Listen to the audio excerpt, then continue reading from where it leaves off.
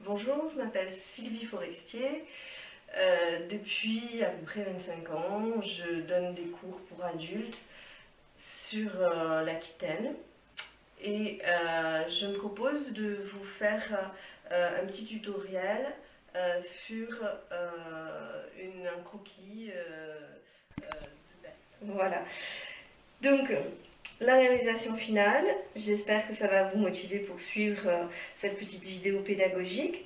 Évidemment, j'ai pas la prétention en 30 minutes de vous permettre euh, d'accéder à, à ce, à ce degré-là, mais en tous les cas, écoutez bien les, les petits conseils, c'est gavé, gavé d'astuces, gavé euh, de petits trucs euh, qui, j'espère, euh, euh, vous pousseront euh, à la création et euh, au croquis en extérieur.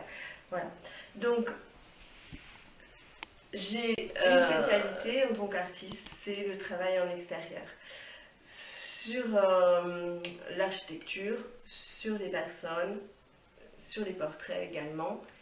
Ce qui fait que si vous voulez me retrouver pour des expositions, pour des cours, pour des stages, pour des commandes personnelles, n'hésitez pas à aller sur mon site www.silforestier art.com. Allez, maintenant, on y va.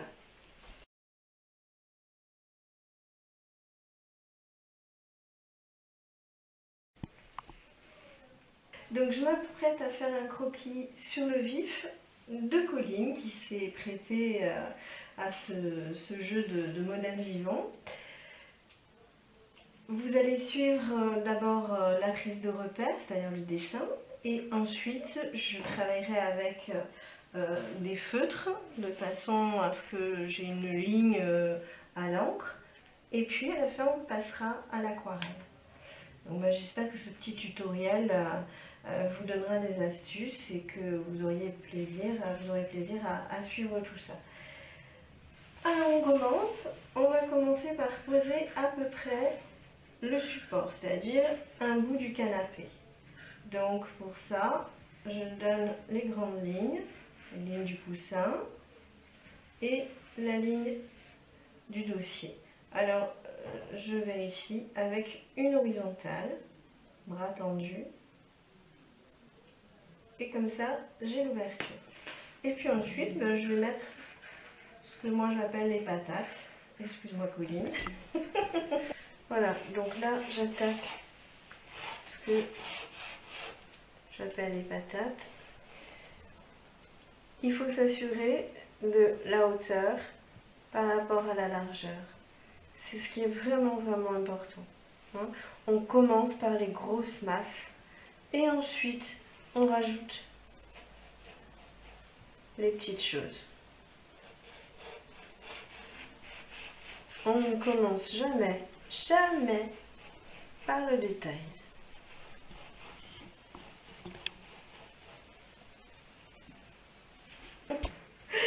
C'est-à-dire les masses globales. Donc ici, le livre est important. Voyez comme on a un crayon qui simplement cherche la masse. Il faut que les largeurs soient justes par rapport aux hauteurs.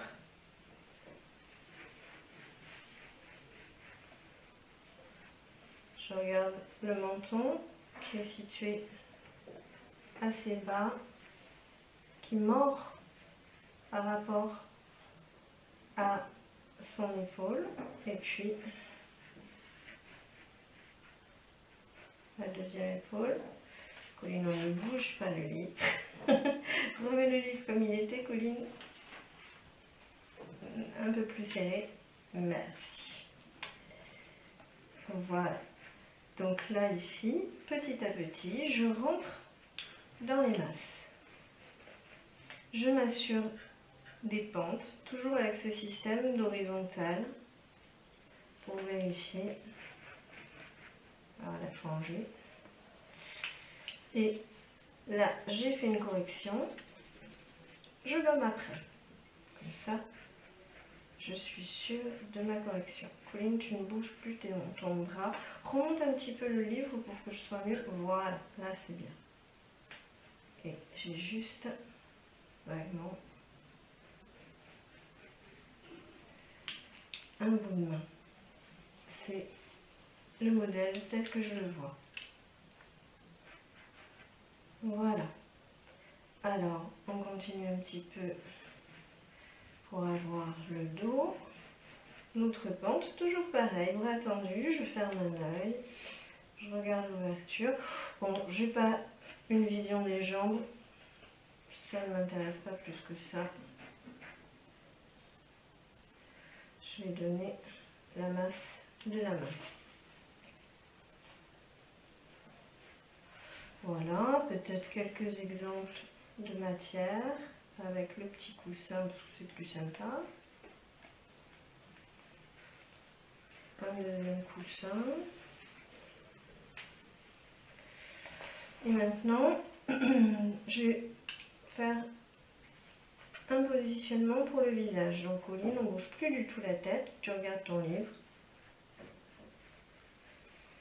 Le plus naturellement possible pour pas bouger. J'essaye de donner la bonne pente.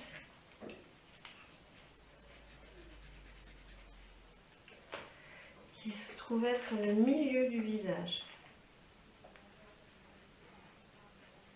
Les yeux, le nez, la bouche. Tout ça, ce sont des lignes donc perpendiculaires à l'axe du milieu.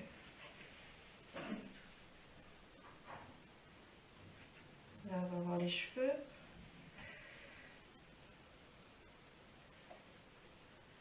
Voilà. Je peux regarder que l'oreille, la pointe de l'oreille arrive bien à la même hauteur, un peu au-dessus par rapport aux yeux, un peu au-dessus. En fermant l'œil, je vois bien l'oreille ici, un peu au-dessus du nez.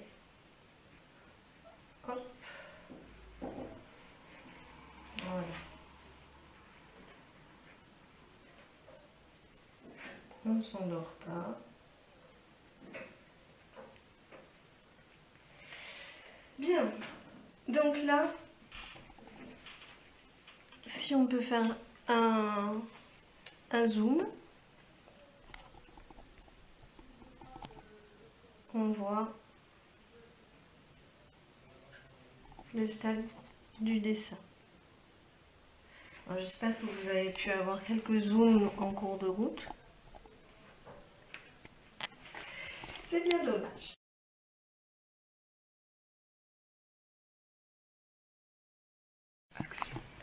On va avoir la deuxième phase maintenant avec l'encre. Donc, les masses sont posées.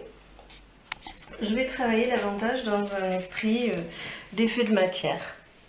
Alors, ma ligne doit être extrêmement vivante. Là, j'ai un 0,2 et puis j'ai un 0,8 mm. Donc, euh, je peux varier comme ça, avec des lignes déjà un petit peu euh, plus vivantes. Donc, avec le gros. Vous voyez comme mes lignes sont très très très nerveuses, euh, elles expriment bien le cheveu, elles expriment bien. Je les concentre un peu plus par endroit.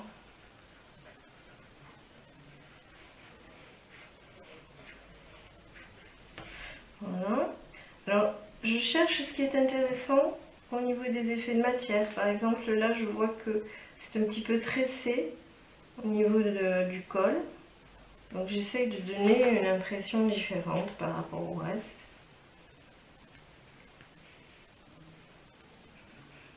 Voilà, et je m'appuie sur mon dessin.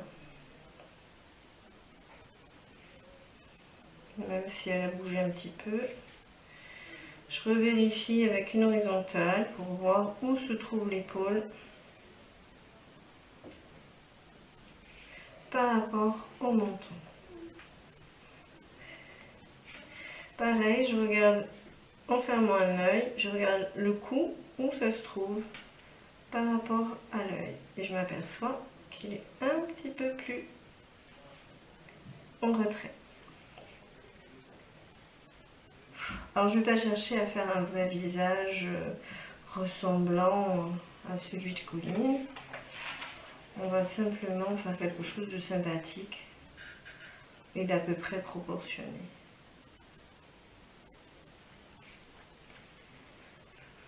Donc là, je continue à dégrossir.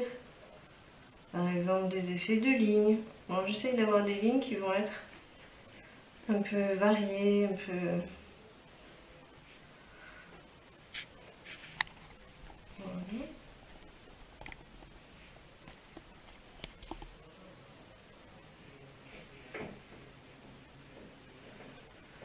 Là, je vais suggérer les effets de matière.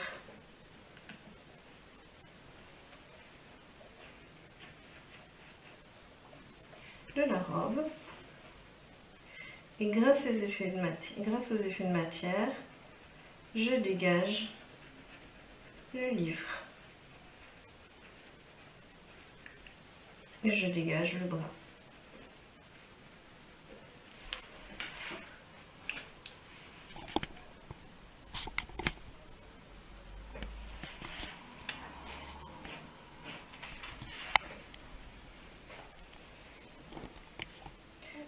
je m'appuie sur mes proportions. Je vais pas rentrer vraiment dans un détail pour la main.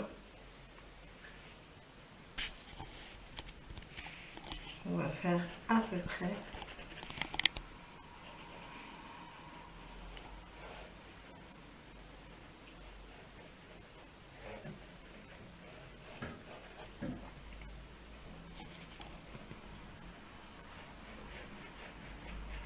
Voilà.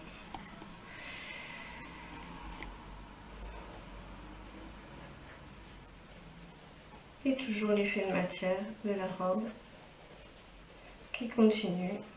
Par contre, je vais pas trop loin. Je vais pas suggérer le reste parce que je suis, dans, je suis en mauvaise posture pour bien évaluer le reste. La jambe, etc. Donc je me contente de suggérer et de finir de façon très très très légère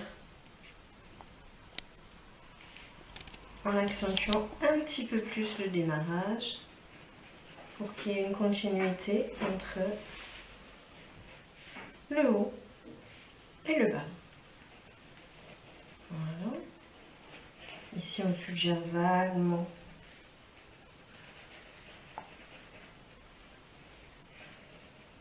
le fond. Je vais prendre un feutre un petit peu plus fin pour travailler le visage. Et on va essayer de faire quelque chose de joli malgré tout, même si c'est tout petit. Alors, je cherche pas à faire un visage qui soit vraiment ressemblant. Je cherche surtout à faire un visage qui soit réaliste. Là, les cils, un peu, les yeux un peu tombants, parce qu'elle regarde vers le bas. La bouche à peine esquissée. Une petite ombre. Voilà. Et j'essaye de bien, bien, bien visualiser l'espace vide ici. Là, pour ne pas mettre les oreilles trop tôt. À l'oreille.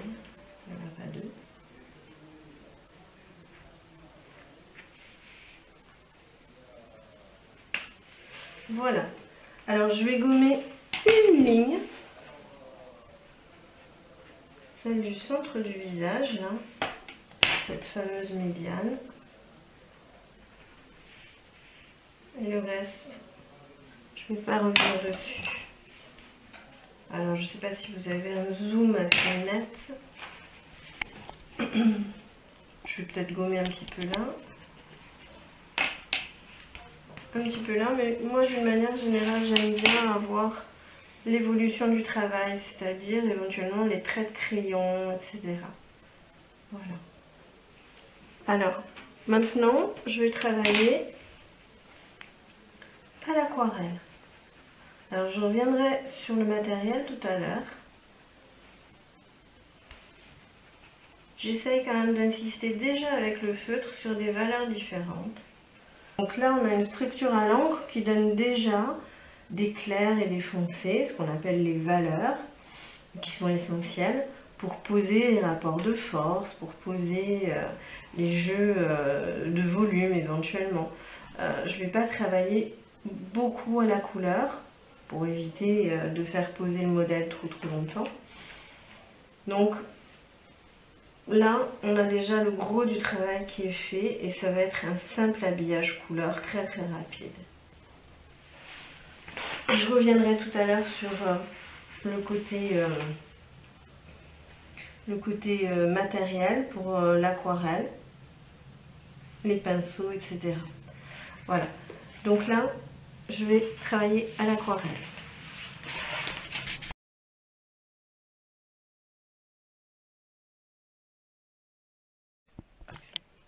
Vous remarquerez que je suis beaucoup plus à plat que tout à l'heure.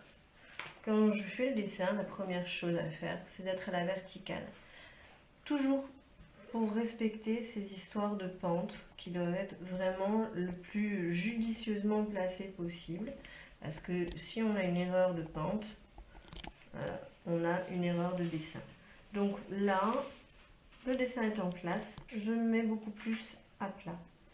Et je vais travailler avec mon gros pinceau dans un premier temps, pinceau qui contient de l'eau, qui contient de l'eau jusqu'à là. Et j'attaque sans jamais nettoyer ma palette, hein, quasiment jamais. hein. Donc j'ai toujours des petites cochonneries. Voilà, ça tombe bien. Ça va correspondre à la couleur de peau. Peut-être rajouter un peu de jaune. Voilà. Et on y va.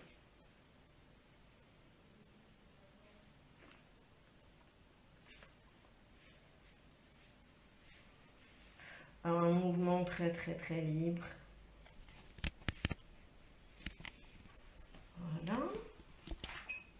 Je rince hors champ. Et je vais poser un petit quelque chose au niveau du, hum, du fond. ou quelque chose d'assez léger. Qui donnera un peu de nuance à l'ensemble, qui donnera un peu la pêche. Alors évidemment, je mets en avant mon visage grâce, et puis mon coussin, grâce à ce fond. Ça, c'est la base. Mettre en avant les choses par le fond. Voilà, je ne vais pas revenir plus. On va mettre quelques petites cochonneries sur la robe. Vous remarquerez que ce pinceau est très fin, bien qu'il contienne beaucoup, beaucoup de matière. C'est vraiment un très très bon outil. Voilà, là je vais revenir avec une autre couleur, un pinceau quand même un peu plus petit.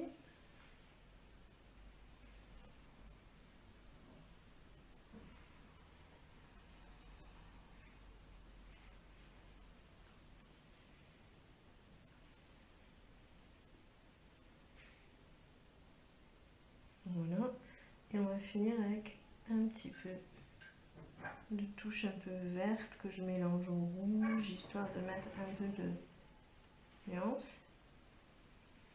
Ça suffit largement pour suggérer la robe. Voilà. Alors, je vais revenir sur la peau. Je n'ai pas rincé mon pinceau, j'ai du vert dessus et je mélange avec un orange. Orange et vert. Suis sûre d'avoir les trois primaires à l'intérieur. Donc, j'ai du brun, j'ai du terne, une couleur terne. Je n'ai aucun marron dans ma boîte. Par contre, euh, j'ai les deux mêmes oranges, j'ai les deux mêmes rouges, j'ai les deux mêmes verts. Donc là, on va mettre les cheveux.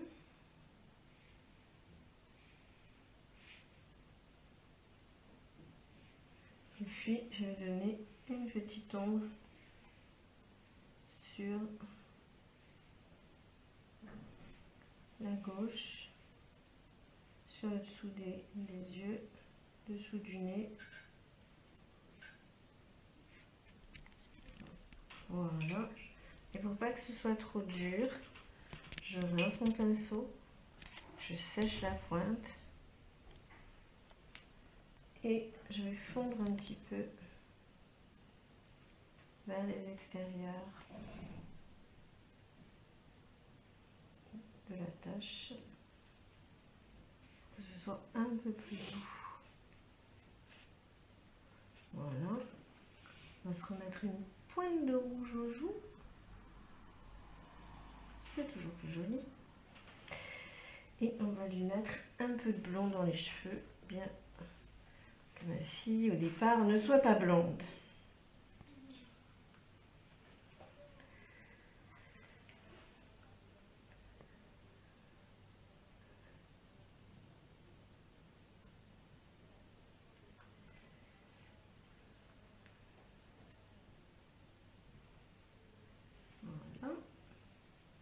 Alors on va mettre un petit peu de rouge dans la bouche. Voilà à peine.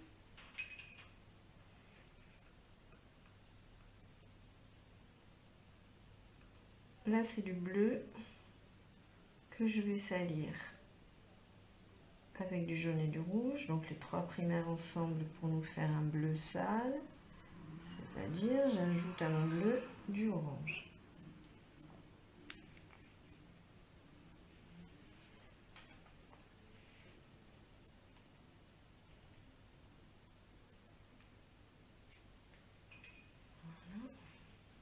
Et je mets un petit peu d'eau. Que ce un peu plus clair. Alors, si la couleur ne me plaît pas, si je la trouve trop flashy par rapport au reste, je remets un peu d'orange pour griser. Ça sera mieux. Alors, on va faire très très simple pour le fond.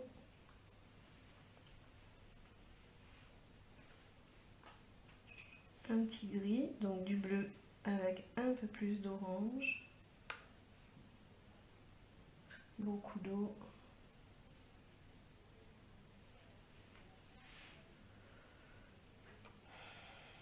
Un peu plus de jaune, histoire que ça vire au vert ici ou là.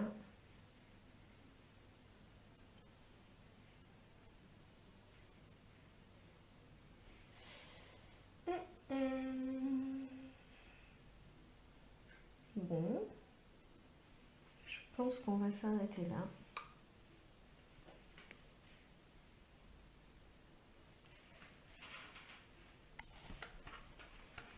Un marron supplémentaire, orange et bleu, ou vert et bleu, enfin vert et orange.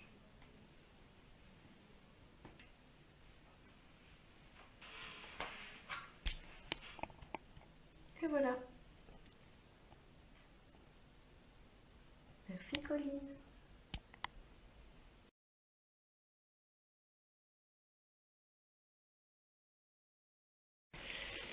Et ici, vous avez le matériel qui m'a été nécessaire. Donc, les lunettes indispensables. Dans un premier temps, on a le crayon et une petite gomme, euh, type gomme cutter, ou alors euh, vous pouvez aussi prendre une grosse gomme blanche et la couper. Mais c'est très très important d'avoir un crayon extrêmement fin pour pouvoir travailler des choses aussi subtiles qu'un crayon euh, type petit portrait, comme c'est le cas ici. Ensuite, vous avez bah, des feutres. Donc là, ce sont des feutres de taille euh, différentes. Euh, un mm, qui fait du 0,2 mm, un qui fait du 0,8, disons euh, voilà 0,4, 0,6, voilà. mais un très fin quand même. Et ensuite, nous avons très important, c'est pas utile d'en avoir beaucoup, euh, le pinceau pour l'aquarelle. Donc le pinceau que moi j'affectionne particulièrement, vous voyez, ils sont, un peu des pinceaux fétiches, hein. même cassés, j'ai eu tendance à les réparer. Donc euh, pinceau petit gris pur, c'est du poil d'écureuil, mais rassurez-vous, l'écureuil n'est pas tué. Et euh, là vous avez, euh, ça c'est un, un Raphaël, si ma mémoire est bonne. voilà, ça contient beaucoup d'eau et ça reste très pointu. Et là, vous avez le pinceau à réserve, c'est-à-dire que vous avez de l'eau jusqu'à là. Voilà, pinceau chinois. Et puis, euh, éventuellement, pour faire un petit effet à la fin, que je n'ai pas fait, mais que j'adore, la petite brosse. Non, nous refaire le petit effet. Voilà, alors je refais le petit effet. La petite brosse humide, ça fait tout de suite vachement pro.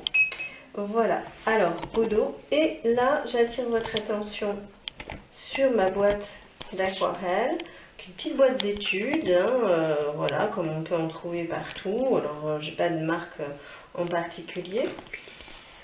Mais ce qui est important, c'est que cette boîte, elle a beaucoup de vécu et elle est organisée avec certaines couleurs pas d'autres. Par exemple, j'ai absolument aucun marron.